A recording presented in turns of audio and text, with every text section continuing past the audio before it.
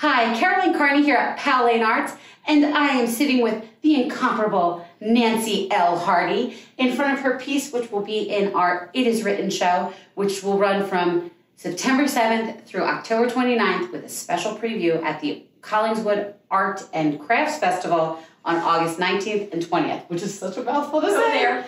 Uh, go there. It's a special preview. Um, Nancy, could you introduce us to your piece?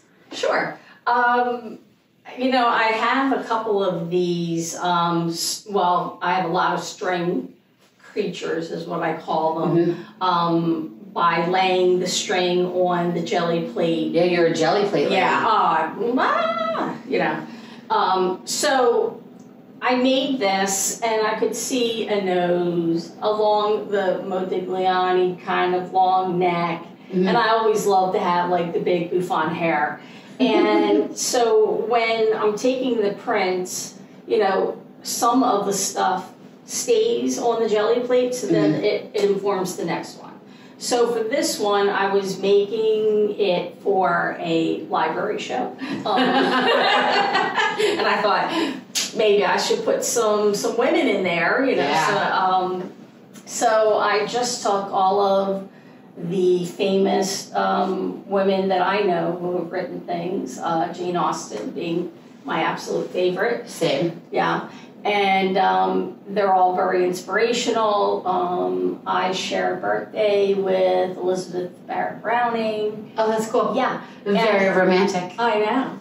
And, um, you know, so I just thought, I, one that looked like this, I had sea creatures in her hair Mhm. and jellyfish, you know, like, because that's what it all looked like. But here I went in and I, I went in with, um, I believe it was this, the billow crayons or Okay. things like that.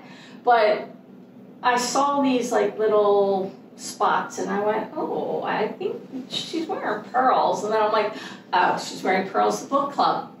Which is such a great title. Um, and what I one of the things I love about this is that um, it also tells a story of it tells a story of all of these authors that she's inspired by, but it also tells a story of who she is and what she's thinking. Yes. So it's a narrative on several levels, which is nice. Uh, you have a reference to the classic literature, but you also have all of these thoughts that are going on in her head that inform the story of who she is and how she moves through the world. And then on top of that, she's wearing pearls to book club. So uh, I really love that um, kind of uh, multiple. This show has a lot of work that has multiple levels to the way that you're telling stories. Yes. Um, I know you said that uh, you were thinking of like Modigliani Yeah. uh, and the extended neck and all those things. Uh, when you approach, we talked in a previous video about how you actually do the technical aspect of um, like putting the jelly down and stuff, Yeah. um, the the string down on the jelly, like to Yeah. do the jelly plate. Um, I'm interested in how you think of composition when you're laying the string I'm not. at all. So you did you Not- think of the Modigliani as you were doing it, or did you think So, of it as it developed?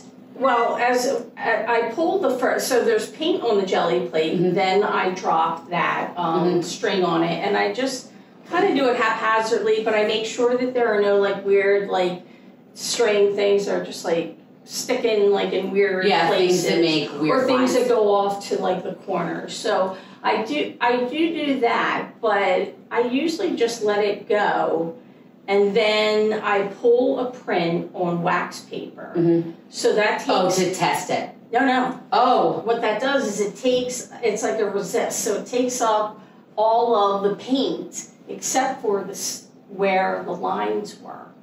So Oh. it's usually a double line, and you'll see like the string line in between. But this one, I felt like I needed to color it in with white um, all the way to kind of make it look a little more um, sophisticated for this woman. Um, because And- she is a sophisticated woman who's Oh, wearing is. to book club, and she's thinking about all of these yes, famous, strong, feminine authors. absolutely. So yes. And I have a I have a group of friends, and they all read books, Mhm. and they're like, "Oh, you have to read this." Yeah, I'm like, I do not have the attention span. So my friend Laura, who wants on her gravestone to say that like I've read, you know, so many books, um, and so I thought of her. She has red hair, but the pink um, kind of stood out. I love thought, that. Yeah, I thought it was a nice comp. I love that it's Companies. it's semi semi biographical. Yes, yeah. So I did think of her, and I thought, I know if I show these girls that read, oh, she wore Pearls to book club, like Yeah, like this is life goals. Yeah. Like, I'm so together, I read all these books, and Yeah. I even look how together I am at book club. Yeah, I mean, come on, you know, my makeup's good. I threw on shorts and a t-shirt today and called it a day. right. So, exactly. I mean, I really thought, I really, I really uh, uh, curated this look, is what I'm saying. this look today. um, no, I love this piece. I uh, one of the things I really love about your work is it has probably because of the intuitiveness of it, it has this strong sense of whimsy, and even within your artist statement and the way that you speak about your art. Um, you talk about joy and finding the joy and the humor in things, which Right.